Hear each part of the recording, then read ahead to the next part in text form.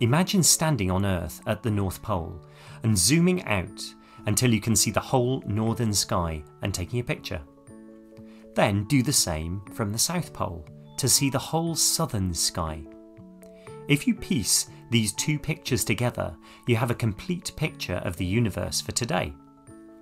As the Earth moves around the Sun, if you were to take more pictures in a similar way, you'd build up a complete view of the universe as seen from Earth, including the parts of space which are hidden by the Sun. Putting these pictures together, they make a map of the whole sky. The x axis is called right ascension, and the y axis is called declination. Because we're looking out from Earth, it makes sense to draw the map on the surface of a sphere.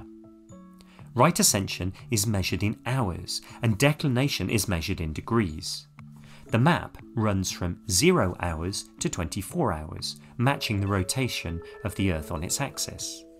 Declination is measured in degrees from 90 degrees at the North Pole to minus 90 degrees at the South Pole.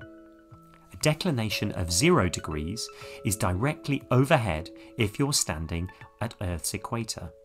This is called the celestial equator.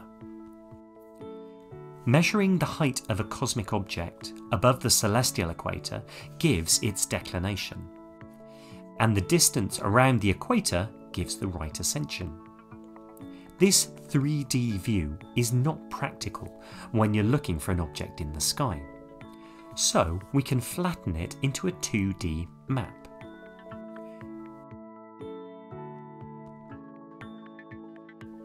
This isn't perfect. Moving from a sphere to a flat map means the very top and the very bottom of the map have a strange property. Things which look far apart are actually very close. This is because the grid lines all meet at the top and at the bottom of the 3D map. This doesn't just apply to maps of space, but to maps of the Earth too. Remember that the next time you look at the map of the Earth. Antarctica isn't really that large, it just looks large because of this strange stretching property.